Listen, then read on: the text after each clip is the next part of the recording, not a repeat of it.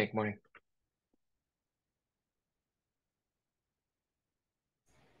Brian, you're Hello. lagging. You're lagging there a lot.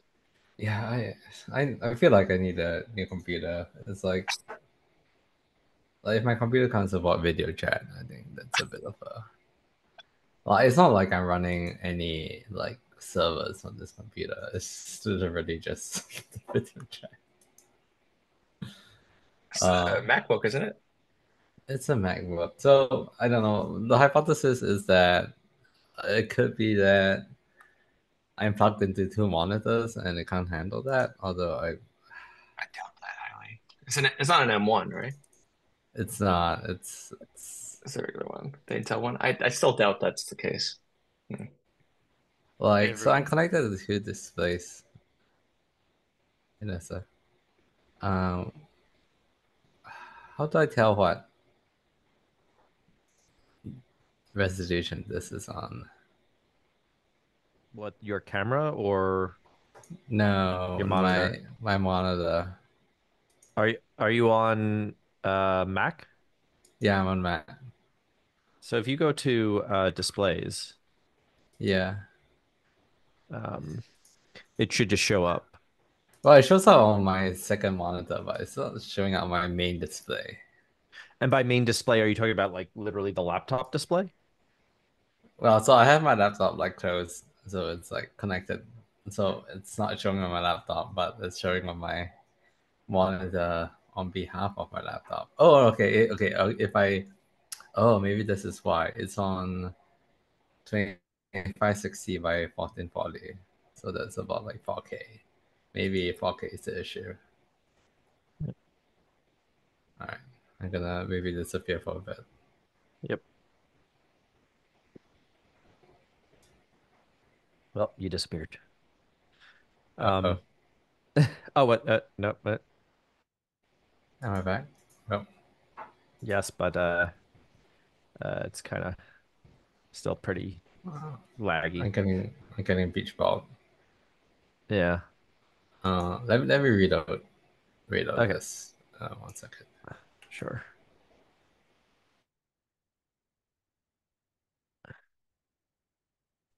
Does anybody have edit access to the meeting notes? I can check to see if I do. No. I'll check with ops real quick, see if there's somebody around who can do that. Yeah, yep. All right, is this a little bit better? No, kind of the same. Mm, about the same. Yeah, maybe I just ask for. Uh, let me ask for your laptop. What what laptop are you even do you even have? Is it the It's like this is a Mac that's from a couple years ago, but it shouldn't be like. It's Yeah, a two point three gigahertz i9. oh well I don't know. I like that should be like. You should be able to do video conferencing on a, on a laptop yeah. that's like um, oh now now you're back. Yeah, it's better now actually, Yeah, It's just better now? randomly just just started like or not. but um so it, it, it seems to go back and forth. Uh, um cool.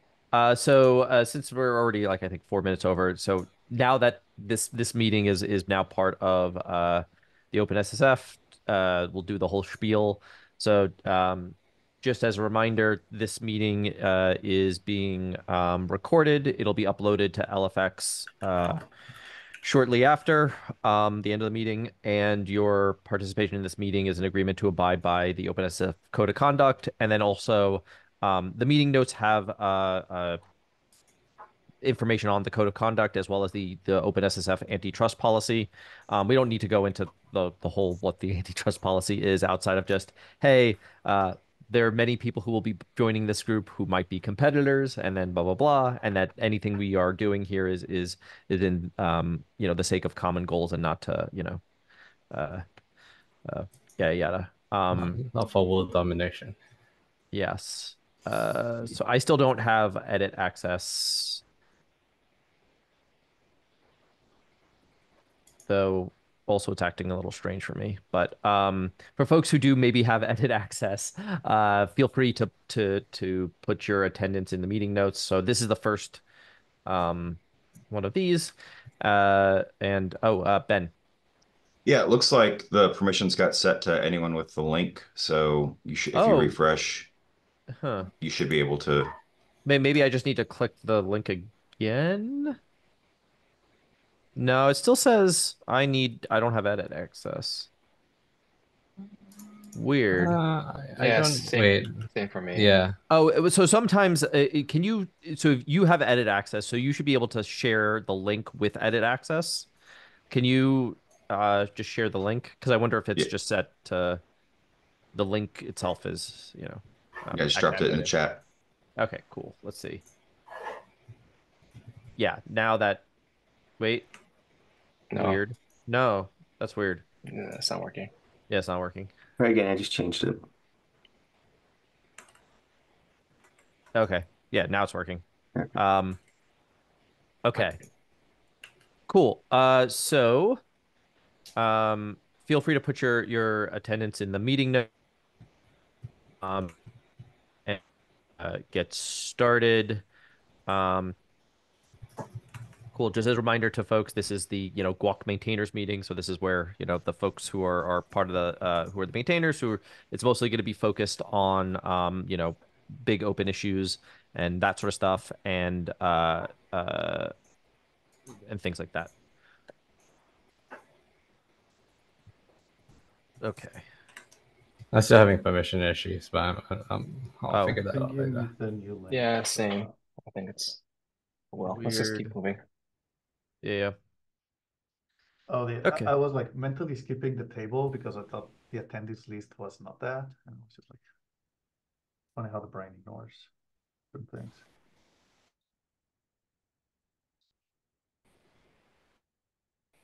Yep.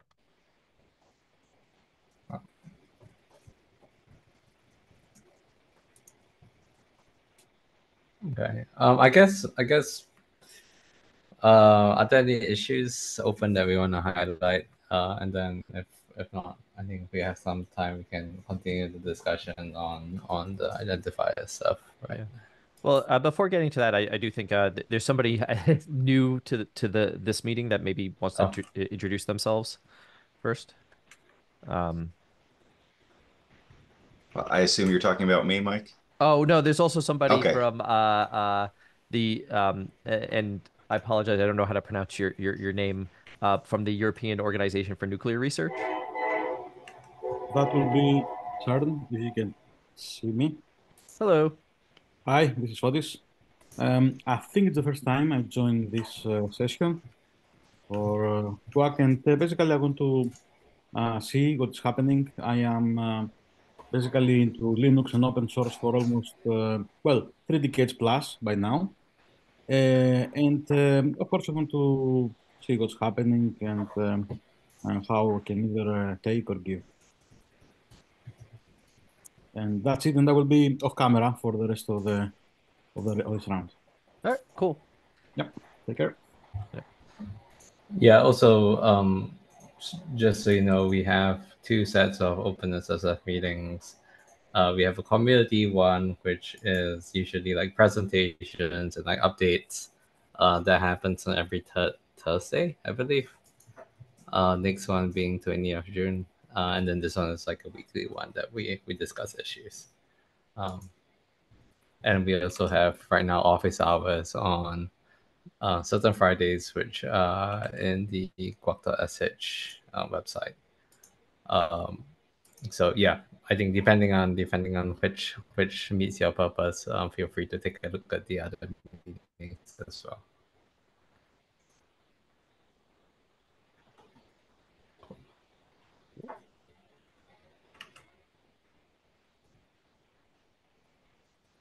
Uh, um, so there is one PR that just fixes the issues with the linter and static analysis and stuff. That's open. Uh, I think Mihai already approved it, so doesn't need one more approval to fix the main branch. And then I think after that, I was thinking like, um, should we go ahead and do a release, or, or any any objections against that?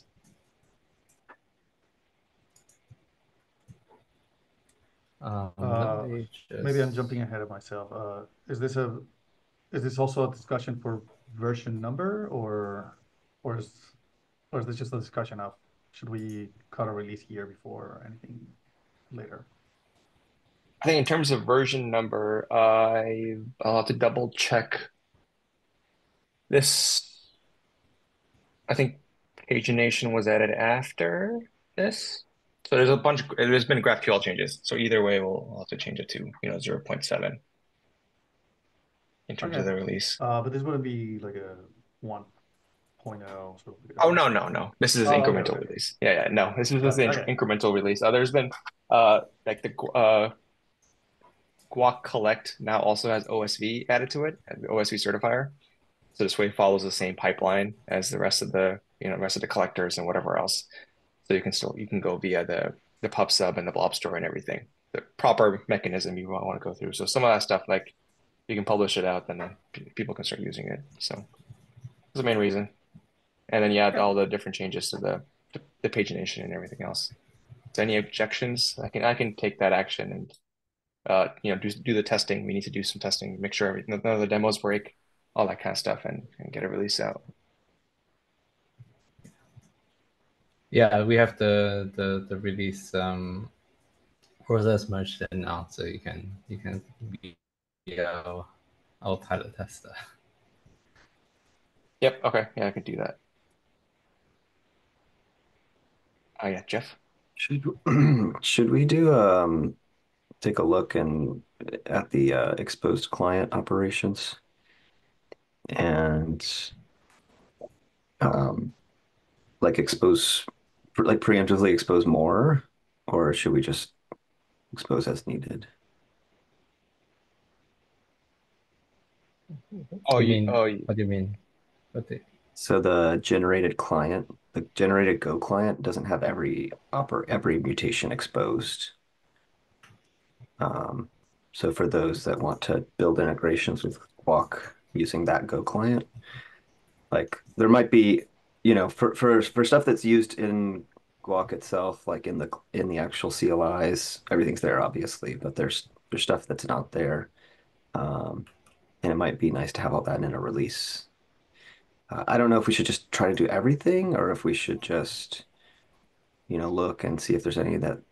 I, I don't know how we would go go about deciding which ones should be exposed, which ones shouldn't if we don't do all all, or if we should just continue to kind of expose things as as they're requested. Or does this need to be like a separate uh a separate uh repo?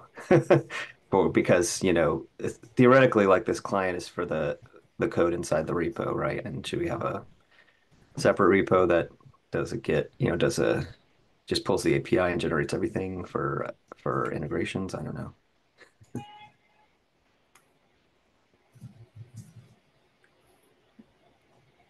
I don't know. I, I guess I guess we can kind of think about this as like if we think it is a um something that probably is a has a good interface as a consumer, then kind of like access like a another repo. But I, I don't think we have a need to kind of split that up yet. Um, I think maybe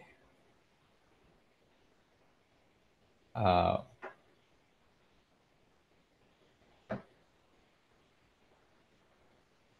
I, I think the question is like, do we? I feel like we should keep it up to date. If there's a cost to keep it up to date, but it doesn't align with the releases, then you know, um, is that something that we want to guarantee maintenance of? So it's just exposing out the existing functionality, right? So it's pretty simple to do.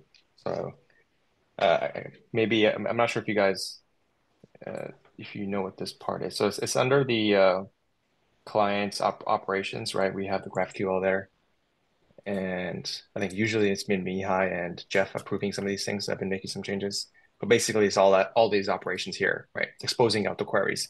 Right now we have ingestion exposed, we don't have some other queries exposed, like you know has source set. You can't query via the client the has source set if you wanted to, right? It's it's just exposing it out. Both the you can you know the both the paginated and the non-paginated query. You can just expose both of them, and then people can use what they want to. That's all it is. So it, it should be fairly straightforward to do. So I mean, I, am in favor of just doing it, and and it's it's a you know it's like a you know, 10 20 minute work to do that. I think, and I can get I can get a PR out before the release, if if that's something. Uh, yeah, so it's not it's not a blocker to get a release. Does that make sense, Brendan? Yeah, I I guess. Was there something else you were thinking about?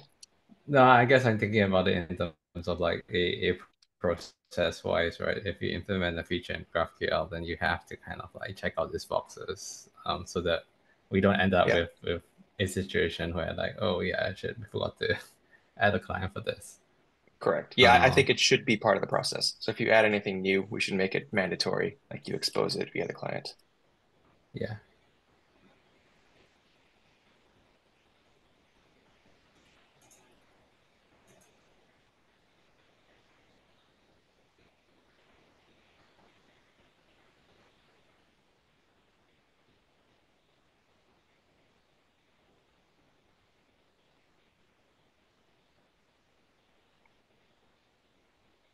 So is there anything, so in, in terms of this process, where should we encode this or should, is this like worth discussing right now or? Because it, it, it would make sense to me in my head, but I, I don't know specifically how would this look like. I think ideally there's some automation around it. Um, but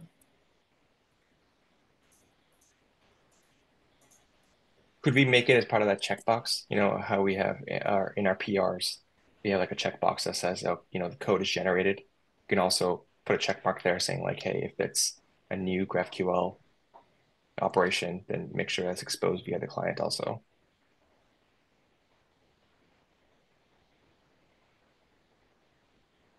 Yeah, that should be simple to do. Yeah.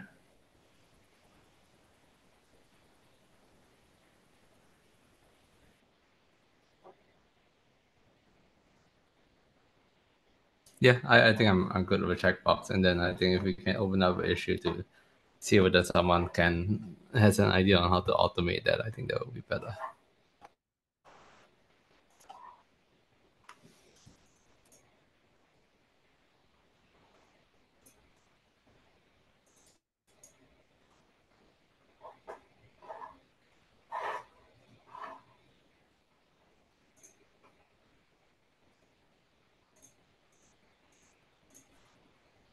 Any other PRs that need to be merged in before this? Just looking at the PR list, I don't see anything. There is there is a issue that is listed as um, blocking. Oh, is there? Um, wait, hold on, my computer is just not working very well. Um, update docs to reflect new guacone query non-recursive implementation. Um, That's the number. Uh, sixteen ninety three.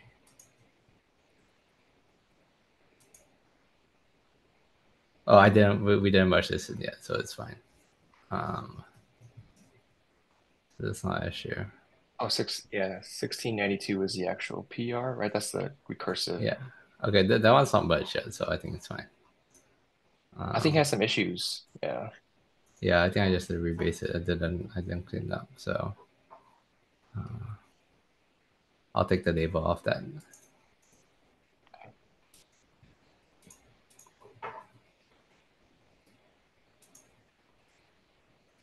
Uh, 1933 is not really a blocker, but I think I'll have to work on resolving that uh, you know, based on a comment that uh, Brendan made. This is basically changing it so that um, all the uh, I can look in the chat here, but all the all the parsers, so SPDX and CycloneDX parsers will always be at a version level, package version level, and never at the name level. So whenever you're checking dependencies, it's always going to be at the version level. And if the version is So- not specified, it's going to be an empty empty string. So I think this is actually actually a pretty significant change, right? Like, Yes. hmm um, Well, so technically what's happening right now is if you look at the code, right, like that helper function, it even though it maps it to uh let me see. So the helper function is checking to see if the if the dependent package coming in specifies if either it's if it's not if it's nil if it's not nil or if it's not empty. And the version, I think we're, uh, let me look at it again. It's been a while since I looked at this.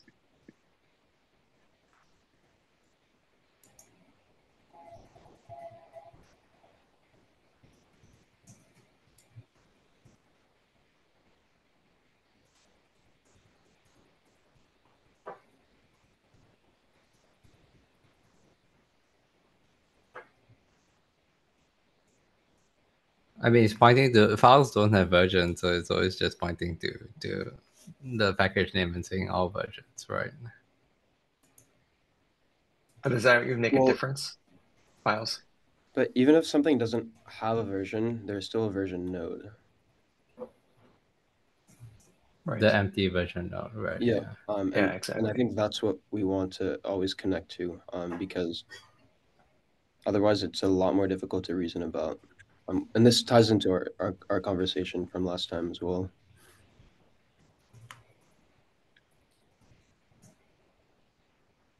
I'm good with that actually. Yeah, I think that works. Um, that we we don't have to. It makes it easier. We don't have to actually change the format of it.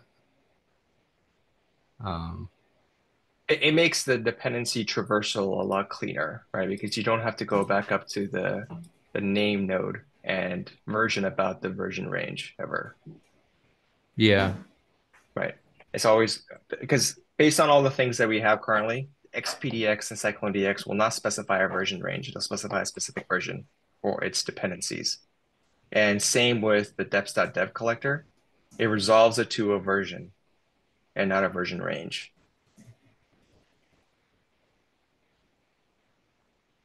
Where do we get version ranges input then? We don't. At all? Oh. I, I thought I thought it's it's annotated in the is dependency node. It's just not. We, we if you point to a version, it's not used. Like we have that information, right? And we were probably getting it at some point, unless you remove it. That No, yeah, so it's still there, right? So if, if Yeah. something does specify a version range, you know, we have a place of we have a place to uh, uh, drop it in. Right. So I, I'm not saying we remove the functionality of being able to being for is dependency to be able to be at the package name level. I think we keep that. I'm just saying that that for the parsers themselves, SPDX and CycloneDX, if an SBOM is coming, right, if you're ingesting an SBOM, it'll always be at a version level. It'll never be at a version range.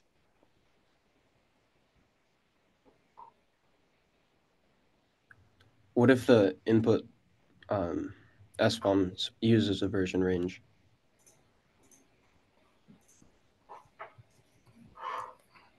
What do you mean by that? So saying like Well- all these versions? Um, in in SPDX you can't do that today. I don't know about CycloneDX.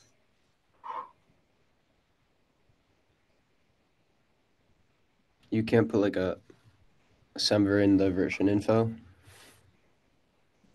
Well, technically you could put a yeah.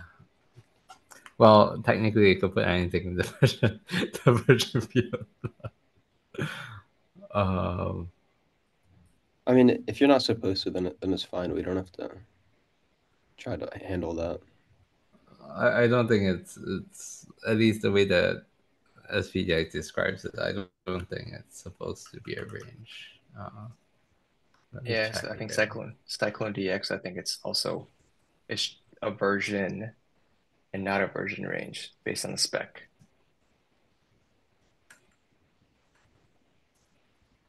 So what with this PR that you're you're, you're talking about, we would just eliminate all is dependency for pointing to names, right? Then we can deprecate that that if we if we need to, I'm not sure if it ever if we ever need to use it again. I don't know. Like I'm not removing the functionality from the database or you know like the, being able to do that. What this yeah, but basically what this does is that now everything is at a version level, and we that just makes everything that makes the, the dependency traversal a lot simpler because we're unnecessarily tying it to a version range when it's never going to be a version range. So even if like, you know, for example, the helper function, right, that I'm removing, if the version, if it's, if the version is specified, it's going to be a, a version at the end of the day. It's not going to be, uh, uh, sorry, if the version is, actually, let me double check that. I think the version is never going to be empty. Putting that up, I closed it. Where'd it go? I think we, this, this is the chat we had in Slack. I just can't find it now in Slack. Where uh, where the hell did I put that conversation? I I think it's fine Oh, here right? is. because I I think what Marco was saying is like even if the version range is empty, then we treat it as a version of the empty version, which kind of almost like acts as the name node, but it's pointing to a version node.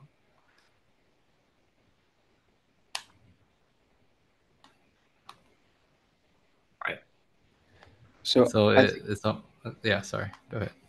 um, I was just gonna say for for this to be like useful, I think we should document it, um, Mm. like in the in the GraphQL schema. Um, but then, I guess we also need to remember that if this ever changes, if we start ingesting version ranges from somewhere, then we would have to update that documentation.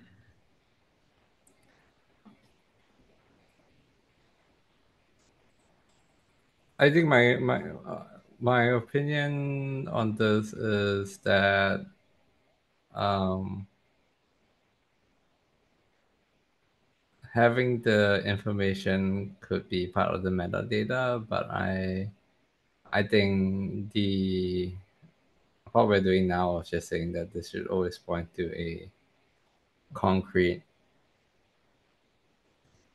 um, concrete definition. Not not not saying that it is a version, but pointing to a concrete definition is like I rather not have like deprecate the other functionality um that is like a a very very good reason because I think it's caused us a little bit more pain than than than has been helpful in the past.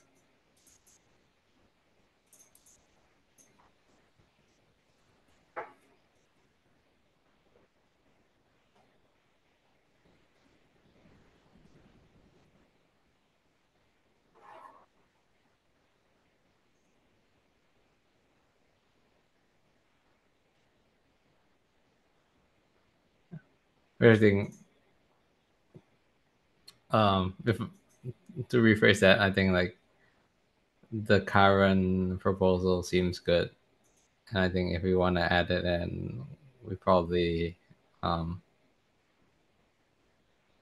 to add it back in, I think we probably want to think a lot a lot harder um and be more resistant to that because I, I think it's um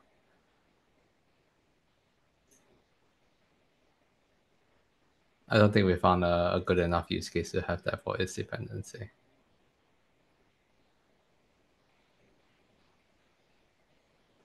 Yeah, so I'm just checking here. Uh, the version is never going to be nil. Right, it's always going to be an empty string based on how we have it. So yeah, in that case, I think we just map it to the the empty string version version node. I have a bias here as well because like this brings us to the identifier proposal that we we want to talk about. So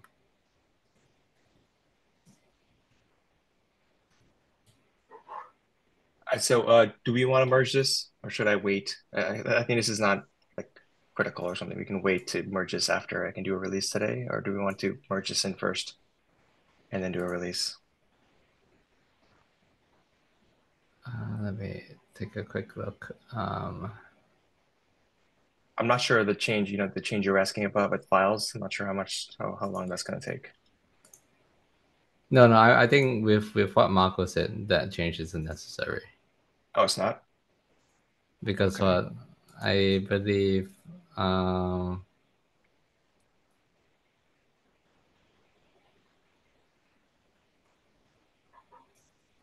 I think the question is. Let me see. Hold on. Well, is it, is it, well, at the time, I'm looking through the, the, the test right now to see what the our definition is for.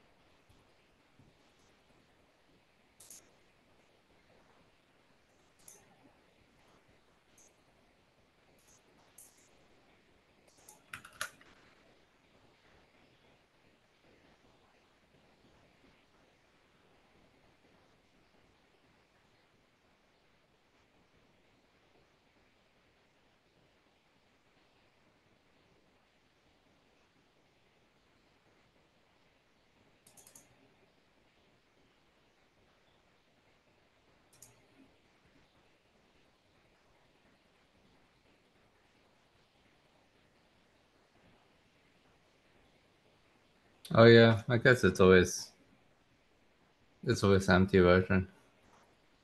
Yeah. Yeah.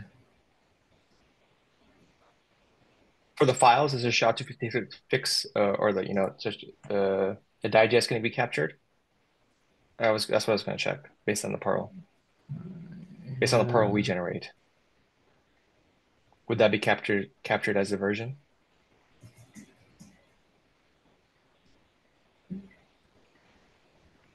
So so sorry.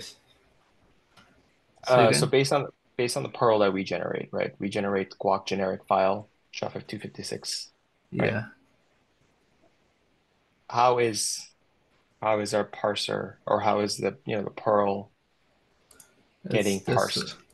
It's this one, and then it goes into the generic purl, um, uh, purl to purl to package. Um, this one, which uses the, it goes from here to here.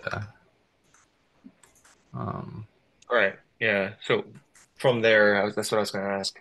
Is that being outputted as the empty version, or the SHA-256 being captured as the version? so what do we want? Uh, so based on purl convert, it it always um it calls the purl helper in that file, Mm-hmm. um, and that says that it's gonna take the address of the version, um, which is a string. So no matter what, it's always going to be populated. Right, Sorry, no, that's the fine. package, package. Um, the No, but should it be SHA-256 or should it be an empty string? That's my question. oh, okay. Mm,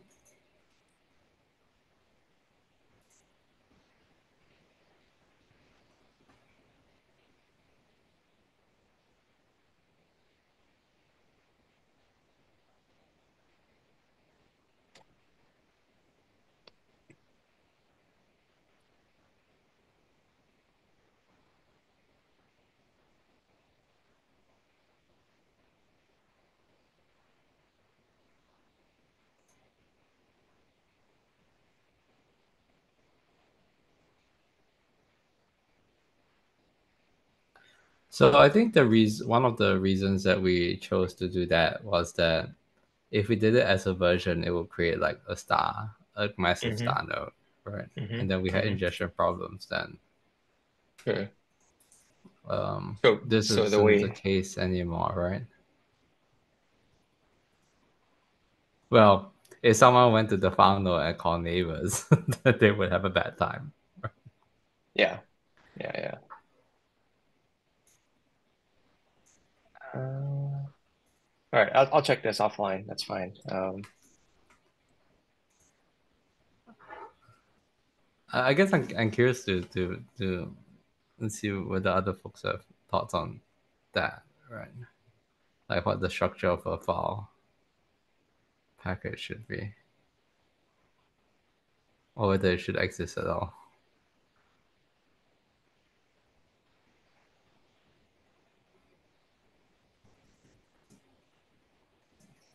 Like we're not using it currently or anything. Like we ignore files. On. We ignore anything guac generated, at least for now. But like, what, what are we going to use the files for? Like, is there if there's a use case, then yeah. But I think that's a use case on binaries, right? Like I, I think we we want to say like, okay, yeah, this is binary, this binary can then be linked to like the, the work that Marco did uh, a while back. Like this binary can be linked to another SBOM based on the hash.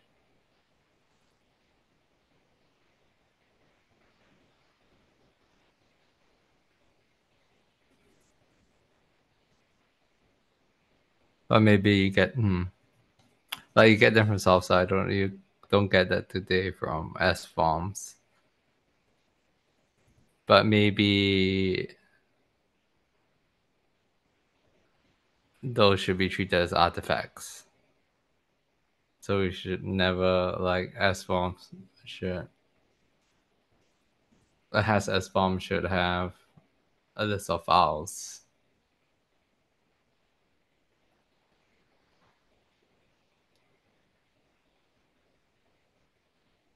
But we have nothing to say that's a dependency on the package to file today. Yeah, so I mean, in that case, the current structure is fine then, right? Because we have a package to artifact and we have an occurrence mapping between the two.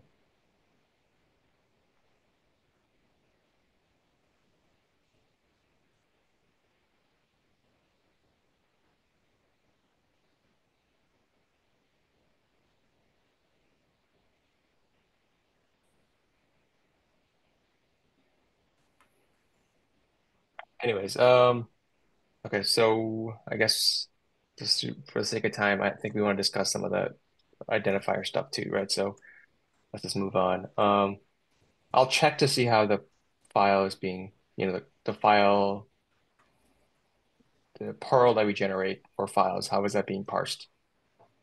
I'm pretty sure it's not capturing the, the digest as a version. And if it's not, I think we want to keep it that way so that we don't run into stargraphs, correct? Is everyone in agreement for that?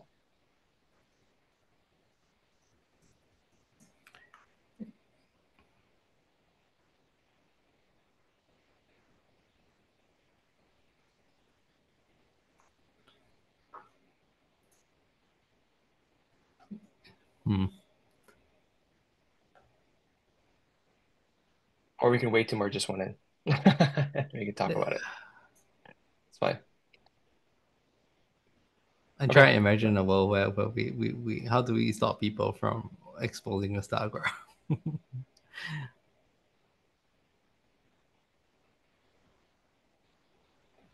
All right, so we'll we'll uh, we'll we'll uh, skip this one, skip this PR for this for this release. It's fine. okay. We'll just make we'll make the changes. We'll expose out the queries on the client side, and then get a PR out. I'll get a release out by the end of the day.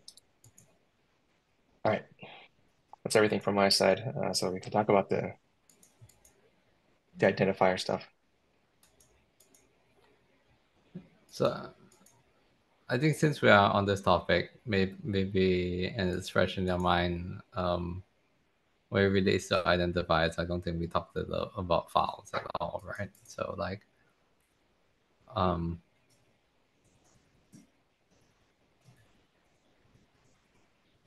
we talked about packages and how to identify them. We haven't talked about files and how to identify them and how we use files today. Um,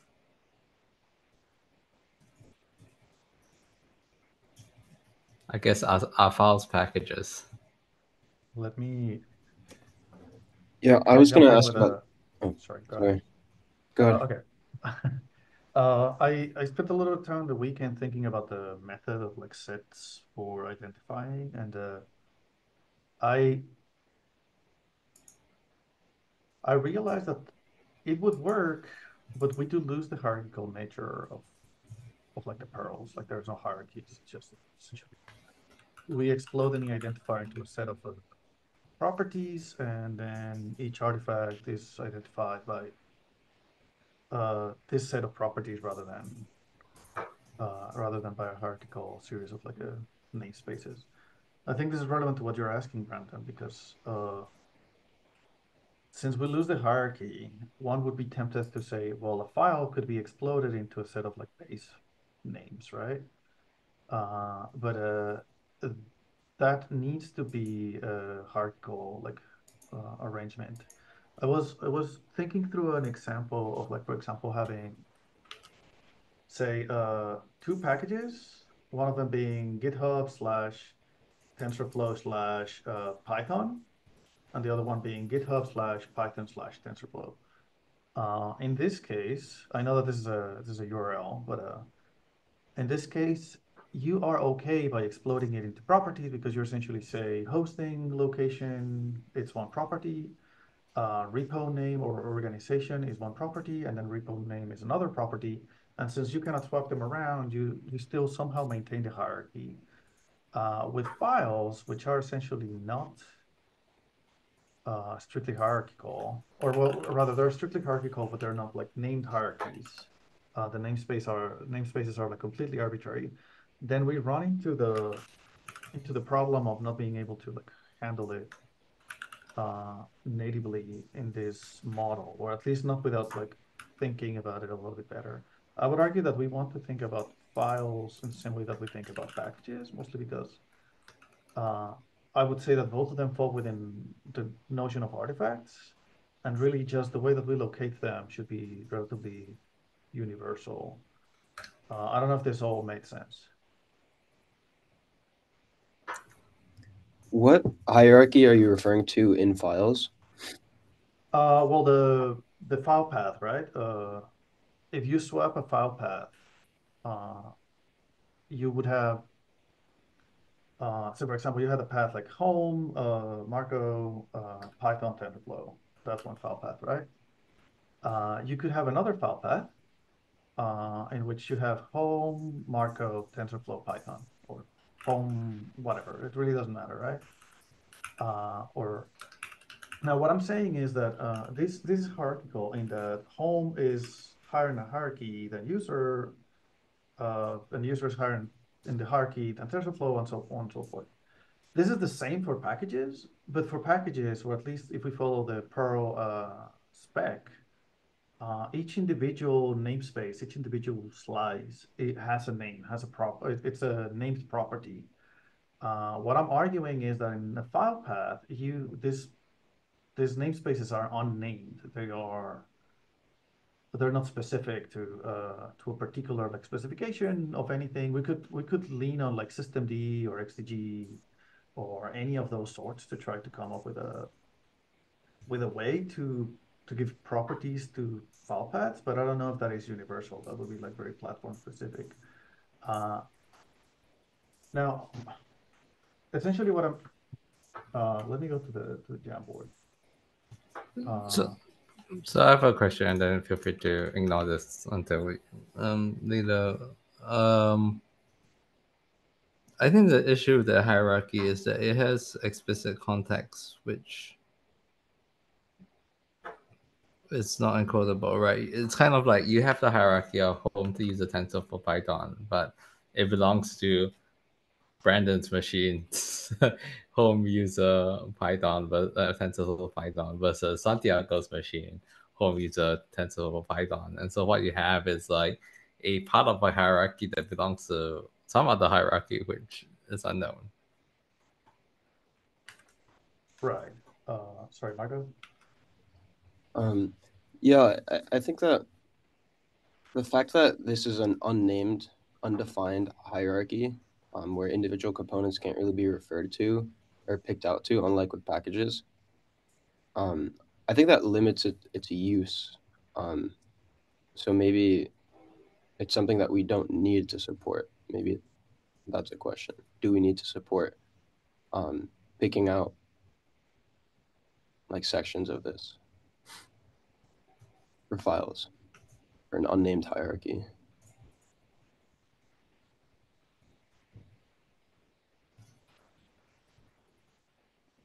So at least when we were thinking about it, I think there was one use case which just was like file names. I think that was it. Uh, as a heuristic to detect if certain things were present. Um,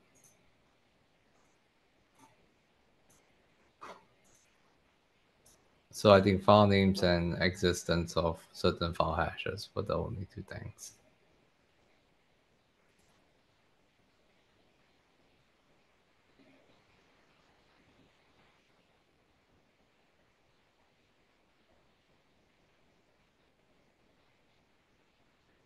Now there could be a world where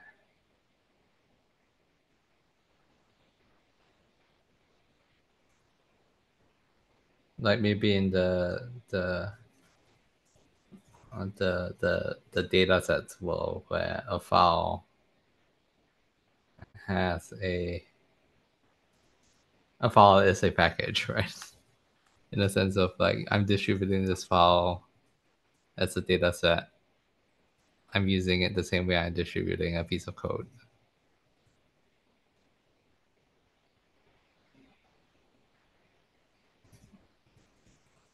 I think that would be somewhat different, but I, I I don't see that as a power path, right? I see that as like a fully qualified URI with like s3 slash something slash something. So, I and going back to that, I what I wonder is if we want to essentially treat each individual phenomena as some sort of a like I I don't know if you rec- recall the conversation about like hard properties and soft properties, for example, a hash. Uh, and Inherent. can- in- Yeah, can, can we? yeah. Can we like very specifically specify how are we exploding each identifier into a collection of properties uh, that then we use for like a set-based lookups? Uh, and this both works in ingestion and in querying, I guess. Uh, I don't, I don't, I don't know if this makes sense. Essentially, we, we, we could say, hey, here's the it's almost like a meta sen- in a sense. We, this is a way to tell me which type of identifier you're talking about. Like, for example, are you talking about the dataset file uh, on a remote location? Something like dataset plus HTTPS colon slash slash. And then we have a dispatcher, essentially like a handler for that, that explodes the identifier into a series of like consistent properties. We could do something like Linux plus sorry file plus Linux systemd or something like that, where we say, hey, this all falls within a series of like very defined expectations on how uh, file system stuff needs to be uh, uh, needs to be done for like base operating system files. Uh, and I would assume that we wouldn't have like a crazy, uh, gigantic sort of a dictionary of things that can be done, or like ways that we can analyze these different types of identifiers. But I, uh, I also imagine uh, this would at least uh, simplify how we think about individual edge cases, and would also let us uh, like be very transparent as to how do we handle things uh, when when we're dealing with like for example what you have right now like you have an S3 bucket. This is how we're going to reason through it. We know that an S3 bucket has this uh, this element in a hierarchy, right? It, needs to be a location, uh, a remote location. It needs to be, I forget if they're like a, they're anonymous, but like there, there's a, a key ID or a value, right? And then we can probably uh, add a hash or something like that, uh, add a hash or something like that, just to, just to, to give an example. I don't know if I'm making sense.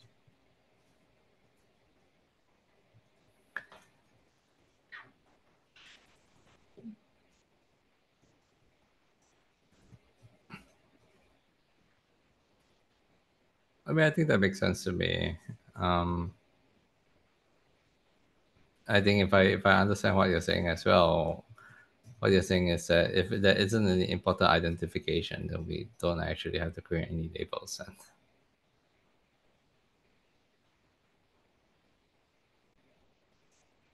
Yeah, I, I think that's kind of it. Mm, yeah.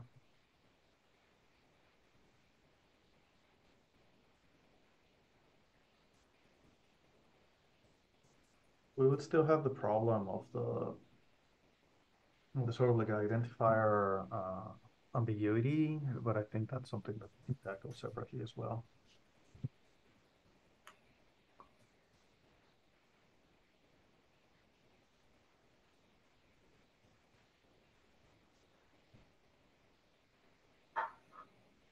I guess the question is if I if let's say they give us information about a file without any context of where it's hosted, right? Let, let's say I give you, oh, let's let's bring it back to the package flow. Let's say I give you a a tarball and I tell you this is a this is an image, right? How are you gonna construct? Like, how do we encode that? So that is that is what I was saying with a with the whole like a ambiguity uh, meets like softening of edges uh, and like a soft and hard uh, identifiers, right? If you gave me a file, like here's a file path in my system, I can go and both look by the file path and see if I have something in there. Like this a file that's usually living in that place? So like slash opt slash zoom us slash client or something like that.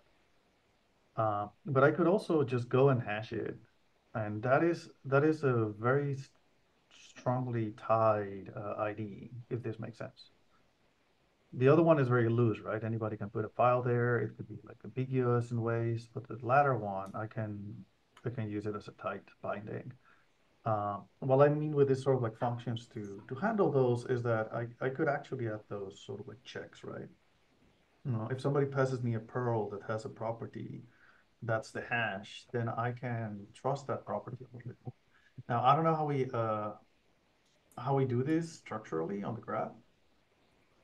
Uh, but that's something that we can definitely uh, we can definitely give a priorities to certain properties. Uh, on the last meeting, we discussed of, of uh, essentially the matching for all and matching for none. I think that's probably good enough if the data is good. But uh, I would assume that we may want to have cases on matching for most or matching for strong and uh, hint with soft.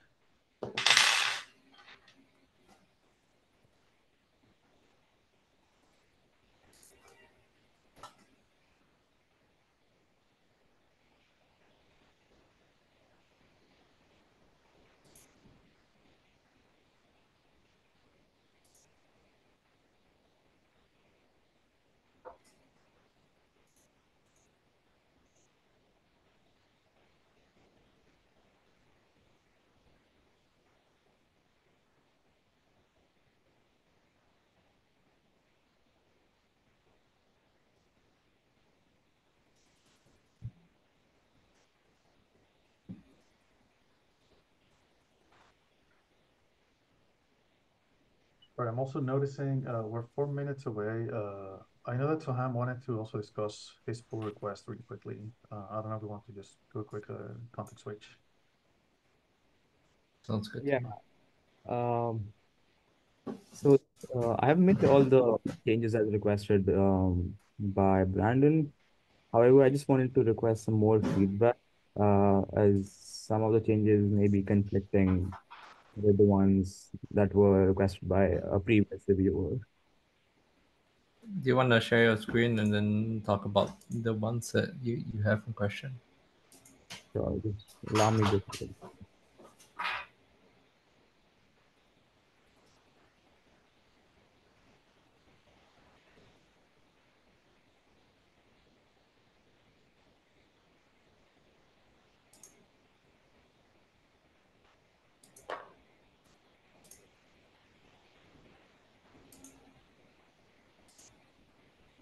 It's it's not a huge thing. It's just um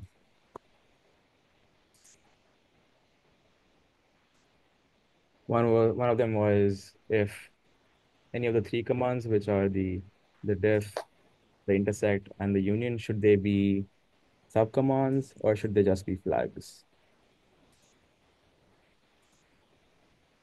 It's this one. So should they be subcommands or like I remember Jeff earlier um, did a review and he said th- this should be should be subcommands. Yeah, that's fine with me.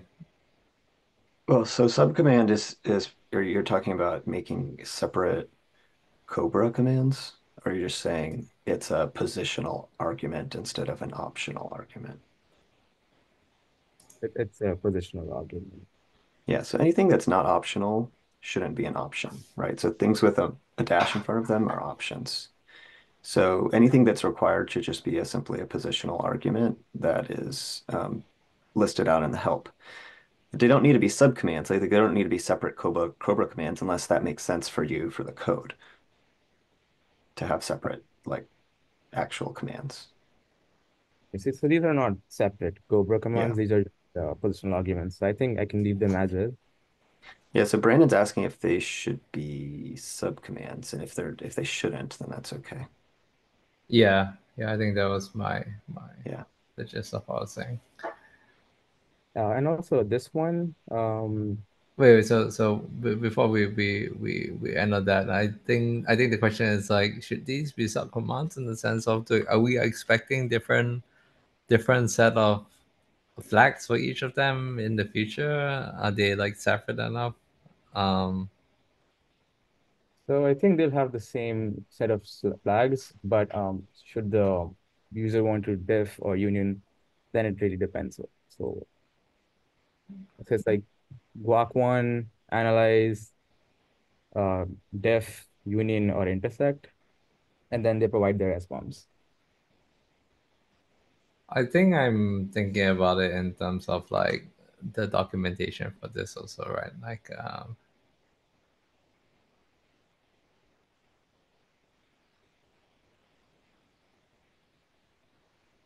Yeah, I think feel it's a- like, yeah, sorry. Oh, go ahead, go ahead. No, I was just thinking like in in terms of now we have like maybe three different things. You want to add one more thing next time. I feel like subcommands do kind of like the same thing for us. Uh, and then they handle the documentation nicely as well. Yeah, so it's like how much overlap is the help text going to have? Like, is it going to have three paragraphs and says if if you put diff, it's going to do this. If you put union, it's going to do this. Like, and also for the code, is it really three, you know, you know, case statement with three totally separate pieces of code, or is it really just one uh, kind of function that is um, with with this actually being truly, uh, you know, just a small difference? And and yeah, I think I think if you have the helper function, you could add this as like the um the option data on as well. Um, but yeah, to just find I think like if this ends up being like a huge explanation block on what the three different things are, then Maybe it's worth splitting up. So should I just leave it as is for now?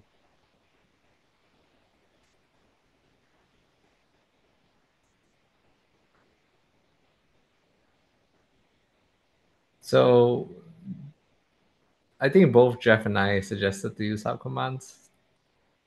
Okay. Um, so I think unless you think there's a reason why we shouldn't use subcommands, I think So I didn't suggest use subcommands. I think this Oh. is a not an correct interpretation. I suggested use positional arguments, which is what it was changed to. yeah. okay. Um, I think it's a good question. Is it should it be a subcommand?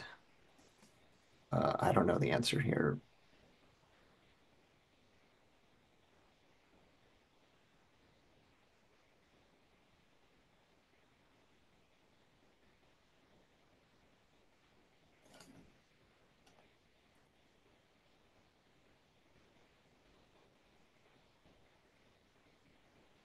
Should um should we move to the next question I have?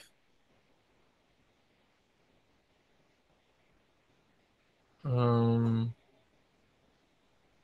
why you you're looking for resolution on the the this this comment, right? Um, I'm saying this since uh kind of over time. yeah, that's true. Um, why don't maybe you can set up a meeting with whoever reviewed this, and then that's that's we can help hash it out since there are some conflicting um, comments. All right. Yeah, that, that sounds good. Yeah, yeah. I maybe write up the the the particular ones that you think that they are conflicting comments, and then maybe put a uh, add something to the uh, Slack channel, and then mm. either we can resolve it asynchronously, or if we feel like we need a meeting to have a a more higher bandwidth discussion, we can we can schedule something with you. All right. That sounds good. Thank you so much.